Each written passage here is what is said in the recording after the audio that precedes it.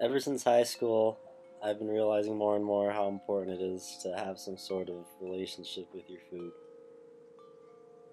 I've been growing my own food for a while now, and I work at an urban farm, and I love it. Growing your own food has got to be one of the most satisfying feelings.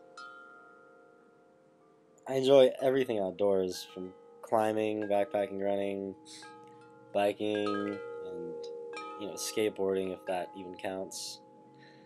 But I don't think that I ever feel any happier than when I'm sowing some seeds with my bare feet in the dirt.